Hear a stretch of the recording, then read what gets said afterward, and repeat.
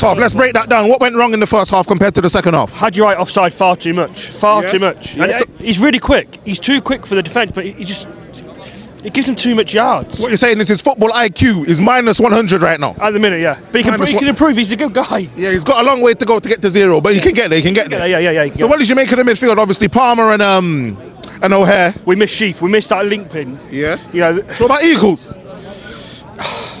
Was he not doing enough today? It's just so negative.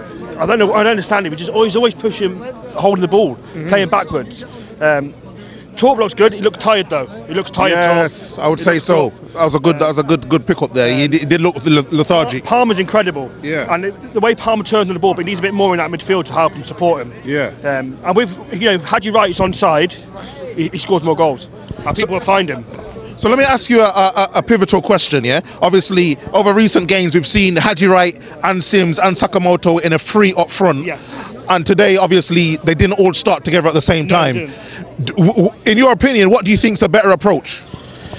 I, I like Wright on the left hand side. Yeah? I like him on the left hand side. When he cuts in, and when he then- cuts inside, On the right uh, the problem you can have is, do you choose Sims or Godden up front? Now, Godden hasn't got the pace anymore, and Sims is a bully. Sims can bully defence. Has he got the technical ability though? That's the question. He's still learning. He's still. Who would you say is the better finisher or the better out and out striker, Haji Wright or Ellis Sims, as it stands right now from what we've Wright. seen? Haji Wright. Haji Wright's the more complete striker, yeah. as it stands in a minute. Yeah. So who would you have down the centre if you've got Haji Wright on the wing though?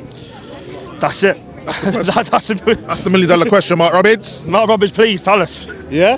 But all in all, what, who was your man of the match today then? Give me your top two standout performers. I'd give Palmer for that first half incredible.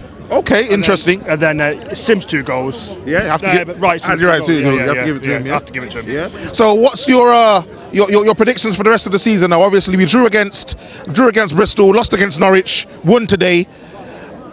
Do we have any more leeway for these kind of up and No, down no, results? No, no, we need we need to really knuckle down. Because now. Sunderland before the game were in sixth. Yeah. I think we might have jumped above them We in are- goal difference. We're on goal difference. So now. we're back in sixth. We're back in sixth now. Whole other game in hand though. Yeah. So and they've spent money. They've spent a lot of money in there. Yeah. So Yeah. Yeah. So all in all, optimism, positivity. Yeah. still positive. Yeah. Brilliant. Mark Robins.